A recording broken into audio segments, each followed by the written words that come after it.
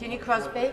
You, Madam Deputy Speaker. The UK Government is determined to level up constituencies like Ynys Môn, and I'm delighted that Anglesey was awarded £17 million in the latest levelling up round to regenerate Holyhead.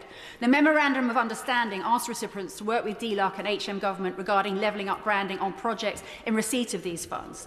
Does the Leader of the House agree with me that the branding is an excellent opportunity for my Plaid Cymru-led council to demonstrate to the good people of Anglesey the difference that UK funds are making to their everyday lives? And would she agree that we could have a debate, an important debate in government time regarding this branding?